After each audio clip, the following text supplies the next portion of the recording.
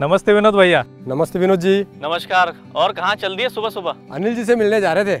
अच्छा और काम कैसे चल रहा है? काम तो सब ठीक ही चल रहा है लेकिन आजकल गाँव में तुम्हारे काम की चर्चा हो रही है। अरे कुछ नहीं समीप भाई अपन तो अपना काम पूरी लगन के साथ कर रहे हैं बाकी तो सब ऊपर वाले की कृपा है। भैया मुझे लगता है कि आपके ट्रैक्टर के कारोबार को और भी बढ़ाना चाहिए। बात तो बिल्कुल सही कह रहे हो तुम अमोल लेकिन इस कारोबार को और कैसे आगे बढ़ाया जा सकता है? आप अलग अलग प्रकार के काम कर सकते हो। जैसे कि लोडर डोजर का काम पडलिंग का काम। लेकिन अमोल इस प्रकार के काम के लिए फोर व्हील ड्राइव ट्रैक्टर का इस्तेमाल होता है। आपको तो पता होगा ना फोर व्हील ड्राइव ट्रैक्टर के बारे में।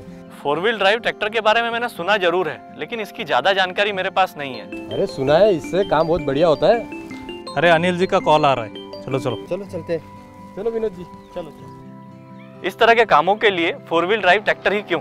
इसका जवाब तो एक ही आदमी दे सकता है।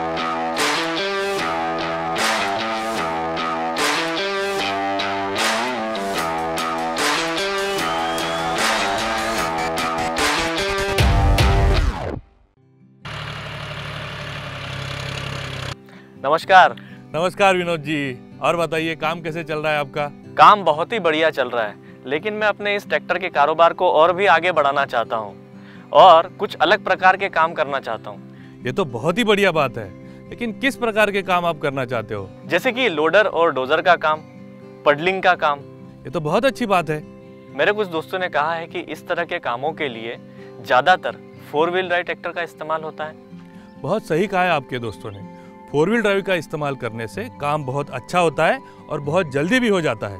पर कैसे? फोर व्हील ड्राइव में चारों पहियों में पावर होती है जिससे भार खींचने के लिए ज़्यादा टॉर्क मिलता है। व्हील स्लिपेज कम होने के कारण काम जल्दी हो जाता है। खेती के किन कामों के लिए फोर व्हील ड्राइव ट्रैक्टर का इस्तेमाल किया जा सकता है? जैसे कि अगर सख्त मिट्टी है तो गहरी जुताई के लिए फोर व्हील ड्राइव का इस्तेमाल कर सकते हो। टू व्हील ड्राइव की तुलना में फोर व्हील ड्राइव के अगले पहिए बड़े और चौड़े होते हैं।